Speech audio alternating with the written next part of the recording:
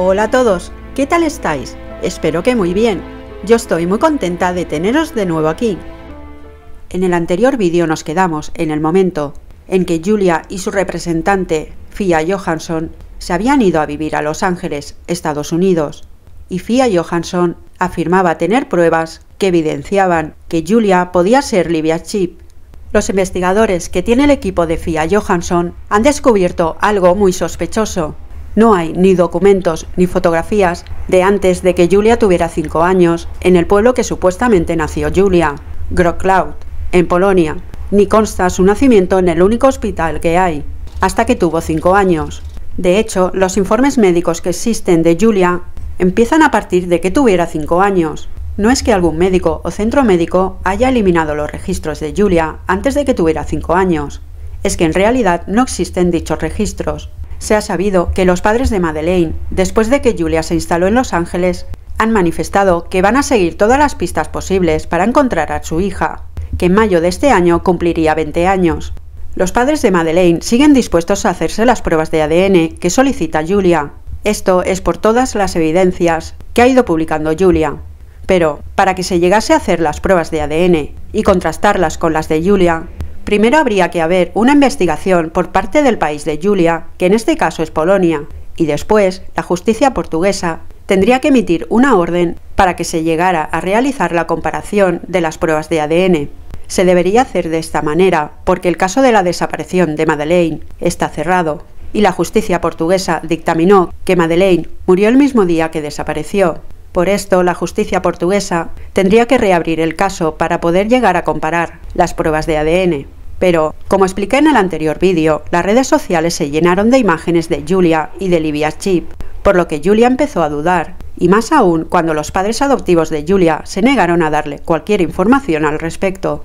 Además, los McCann han respondido con ataques directos a Julia y han bloqueado a Julia y a su representante FIA de todas las redes sociales, según cuenta FIA, esto lo habrían hecho los McCann porque tanto ella como Julia ya no están poniendo tanto énfasis en demostrar que Julia es Madeleine, a lo que FIA argumenta que no están haciéndolo porque primero tienen que darles el consentimiento la justicia portuguesa. ¿Creéis que el comportamiento de los padres de Madeleine está justificado? ¿O por lo contrario es un comportamiento absurdo? Dejadme en comentarios qué pensáis al respecto. A principios de marzo de este año se viralizó un vídeo en Twitter, llegando a tener más de 3 millones de visualizaciones. En el vídeo habla una trabajadora del periódico Sun, afirmando que tienen unas imágenes exclusivas de varios vídeos de cámaras de vigilancia de las calles de Portugal.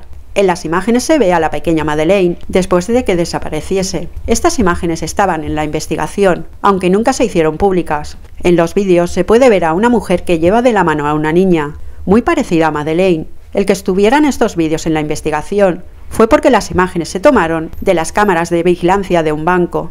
Tan solo dos días después de que Madeleine desapareciera y a unos tres kilómetros del complejo hotelero,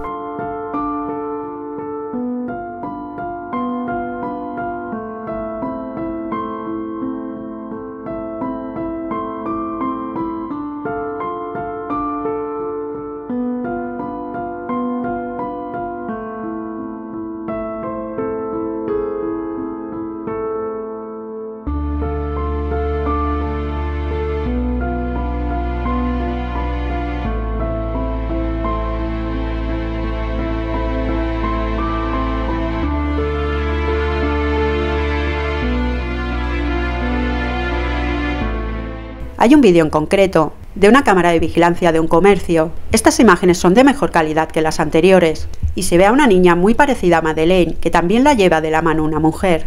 En aquel momento varias personas que había en el establecimiento avisaron a la policía de que habían visto a Madeleine junto a una mujer. También, como expliqué en el anterior vídeo, los padres adoptivos de Julia se negaron a darle cualquier información sobre sus orígenes y tampoco se quieren hacer una prueba de ADN para verificar lo que ahora aseguran, que son los padres biológicos de Julia, pues ha salido una noticia de que Julia llevará a sus padres adoptivos a los tribunales para seguir defendiendo que ella puede ser Madeleine McCann. FIA ha dicho que Julia quiere saber quién es realmente y solo les queda esta manera de hacerlo para que finalmente se hagan la prueba de ADN y Julia pueda saber si son sus padres biológicos o no. Julia insiste en que no son sus padres biológicos. Mientras que sus padres le dan totalmente la espalda e incluso afirman que Julia hace todo esto para ser famosa por lo que Julia llevará a sus padres a juicio, y según su representante, esta es la única manera que tiene Julia para averiguar la verdad sobre si sus padres son realmente biológicos o no. Fia, en el programa Seven News de la televisión australiana, ha dicho que cuando habla con Julia sobre este tema, llora y le dice que solo quiere saber la verdad y que tiene derecho a saber quién es. Fia también ha dicho que no entiende por qué los padres de Julia acaban ya con la situación en lugar de fomentar más dudas. Así dejarían tranquila a Julia, porque Julia tiene problemas mentales, y los padres demostrarían que no quieren hacerle más daño. Pero por lo contrario, muestran su oposición y han amenazado a Julia con dejarla totalmente de lado y con no volverla a ver más. Fia ha lanzado un aviso demoledor y ha dicho, sí, tiene problemas psicológicos, Julia podría intentar quitarse la vida. ¿Cómo pueden hacerle esto a su hija? Casi 15 años después, de la desaparición de Madeleine ha salido un nuevo testigo, que asegura que vio a Madeleine en 2008, un año después de que desapareciera, en la isla Calador, en Mallorca. El periódico Mallorca Daily Bulletin recibió un correo electrónico de una familia británica que estuvieron en el 2008 en Calador. El email decía, visitamos Mallorca con la familia en el 2008 porque cumplí 50 años. Esta fue la última vez que mi madre fue a Calador, ya que tenía 80 años. Una de las cosas que me llamó la atención fue que mi madre nos dijo que había visto dos veces a Madeleine en la playa de Calagrán durante nuestra estancia y que Madeleine estaba sentada en un cochecito y que parecía que llevaba peluca. En ese momento no le hicimos caso. Pensemos que al ser mayor podría haberse equivocado, pero ahora nos preguntamos si era verdad. Lamentablemente mi madre falleció el año pasado a la edad de 94 años. Siempre sostuvo que había visto a Madeleine en Calagrán, Después de llegar a casa, ella siguió la investigación sobre la desaparición de Madeleine, ya que vivimos en Leicestershire, cerca del pueblo de donde era Madeleine. Un medio de comunicación hizo una publicación titulada La conexión mallorquina del caso Madeleine. Una pareja de 50 años de edad llegó a la isla Calador el 11 de septiembre del 2008. Cuando llevaban 10 días en Mallorca, se sorprendieron cuando en Calagrán un domingo por la mañana vieron a una niña cuyas características físicas eran idénticas a las de Madeleine. Se fijaron que la pequeña llevaba gafas de sol y estaba coloreando un cuaderno infantil. Era muy rubia y con la piel muy pálida, mientras que las dos mujeres con las que estaba eran de piel morena, y esto les llamó la atención. Poco después la volvieron a ver y quedaron convencidos de que era la niña secuestrada, por lo que lo explicaron en el hotel que se hospedaban y a la policía de su país. Esta se puso en contacto con la policía portuguesa. Mucha gente cree que Julia es una mentirosa y que se está aprovechando de la fama que ha obtenido al afirmar que es Madeleine y está recibiendo muchos ataques de odio. FIA ha dicho que tuvieron que huir a Los Ángeles para garantizar la seguridad de Julia, ya que no solo habría recibido ataques de odio, sino que ha recibido amenazas. Incluso FIA ha dicho, y leo textualmente, le han puesto precio a la cabeza de Julia. Amenazas porque cree que es Madeleine? ¿O hay algo más oscuro detrás? ¿Está Julia y el equipo de FIA descubriendo qué hubo detrás de la desaparición de Madeleine?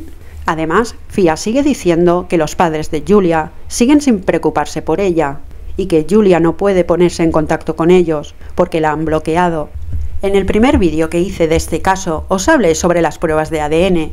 No se sabía si se habían hecho estas pruebas y si se habían hecho, estaban tardando mucho en decir qué resultados habían dado han habido varios medios de comunicación de Estados Unidos que han hablado sobre el tema y han dado nuevos detalles sobre las pruebas de ADN de Julia. Y efectivamente, Julia se ha hecho las pruebas de ADN. Radaronline.com, un medio de comunicación, ha dicho lo siguiente. Julia, quien cree que es Madeleine McCann, envió muestras de ADN para hacer las pruebas a varios forenses. Con esto podríamos decir que Julia no está mintiendo ni aprovechándose y desmentiría lo que dicen los padres de Julia, de que Julia solo quiere ser famosa.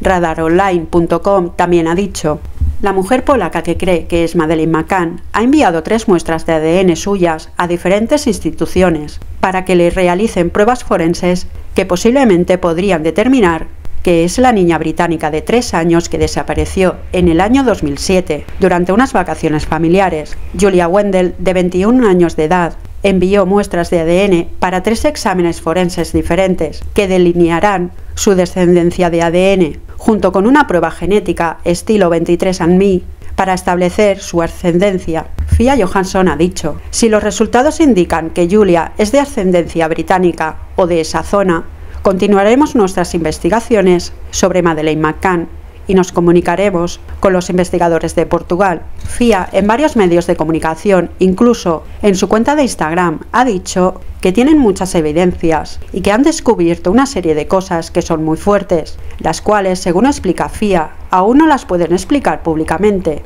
FIA concretamente dice, tenemos muchas evidencias en este momento que muestran que Julia definitivamente fue Polonia desde otro país por un grupo internacional de Todavía estamos realizando una investigación, pero Julia definitivamente no es la hija biológica de sus padres en Polonia. Con esto último, FIA desmiente completamente lo que afirman los padres adoptivos de Julia, que dicen que son sus padres biológicos. Es posible que lo que afirma FIA de que Julia llegó a estos padres adoptivos por medio de un grupo de sea verdad, ya que estos padres están poniendo muchos obstáculos a la hora de hacerse una prueba de ADN y demostrar lo que ellos aseguran de que son los padres biológicos de Julia. Fia sigue diciendo, si la ascendencia de Julia proviene de la misma región que los padres de Madeleine, ella enviará de forma inmediata una secuencia de la prueba de ADN a los investigadores portugueses para que la comparen. El periódico español La Vanguardia hizo pública una noticia y según explica esta noticia, el miércoles 15 de marzo, una familia de Estados Unidos salió diciendo públicamente que su hija, que estaba desaparecida, era Julia Wendell. Esta familia se puso en contacto con Julia y le aseguraron que ella era su hija. Fia Johansson ha explicado que no son los primeros que se ponen en contacto con ella, sino que en este momento hay muchas familias con hijos desaparecidos, con edades similares a las de Julia, y que le envían correos electrónicos porque quieren averiguar dónde están sus hijos desaparecidos. FIA también ha dicho que a esta familia les pide paciencia. FIA no quiere revelar el nombre de su hija desaparecida o de la familia y dice que las cosas van y vienen y es un momento muy emotivo para todos y les ha dicho a esta familia que deben de esperar hasta que obtengan los resultados de la prueba de ADN porque quieren saber más sobre los orígenes de Julia. En este punto, la gente se está preguntando qué es lo que dicen los padres de Madeleine sobre todo este tema, qué está pasando con sus pruebas de ADN o qué movimientos tienen pensado hacer. Y lo más importante, cómo han sido sus vidas desde la desaparición de su hija mayor, Madeleine McCann. Por cosas que siguen haciendo los padres de Madeleine, demuestra que no han superado la pérdida. Y hasta evidencia de que creen que su hija está viva, ya que nunca han dejado de buscarla. La noticia de que Julia cree que es Madeleine McCann le llegó a los padres de Madeleine de una manera súbita, pero al mismo tiempo están enfrentando acusaciones muy duras que los señalan como los responsables del de su hija, Gary y Kate McCann. Hasta el 3 de mayo del 2007 trabajaban en el hospital Leicester. Kate era una doctora clínica y Gary un conocido cardiólogo, pero ambos dejaron sus puestos de trabajo para dedicarse de lleno en la búsqueda de su hija Madeleine. Los padres de Madeleine fueron sospechosos porque eran médicos y los investigadores creyeron que estaban medicando a sus hijos para que durmieran la noche de la desaparición de Madeleine y que se les fue de las manos la cantidad de medicación que le suministraron a Madeleine. Un sector casi mayoritario de la sociedad puso en duda la versión que dieron los padres sobre la desaparición de su hija. Incluso hubo investigaciones que apuntaban directamente a los padres como los responsables, pero los resultados de estas investigaciones finalmente fueron negativos. Los padres, con actitud avasallante y al mismo tiempo conservadora, se paraban una y otra vez frente a los medios de comunicación para pedir por su hija, hasta que fueron cada vez más atacados por los rumores. Desde ese momento, los padres de Madeleine se mantienen herméticos y no contestan prácticamente a nadie, aunque sí que han seguido presionando para conseguir respuestas sobre la desaparición de su hija. Actualmente sus hijos mellizos están en el último curso de un colegio católico en Leicestershire. Según lo que explica el diario Daily Mail, los dos participan en campeonatos de natación, en triatlones y en carreras de campo traviesa. Los padres de Madeleine se aferraron a la idea de que Madeleine estaba viva, ya que la policía nunca encontró indicios de lo contrario. Los padres seguían con esperanza. Kate McCann dijo en su página web, creo que cada tipo de evento que hacemos, ya sea un cumpleaños o una ocasión familiar, o incluso un logro o algo así, es cuando realmente sientes su ausencia. Kate agregó que todavía compraba regalos de cumpleaños y de Navidad para su hija. Hasta aquí el vídeo de hoy. Muchas gracias por haber llegado hasta aquí. Dadle a me gusta a este vídeo y si os gustan mis vídeos, os podéis suscribir al canal. No olvidéis activar la campanita en todas para que YouTube os avise cuando suba nuevos vídeos.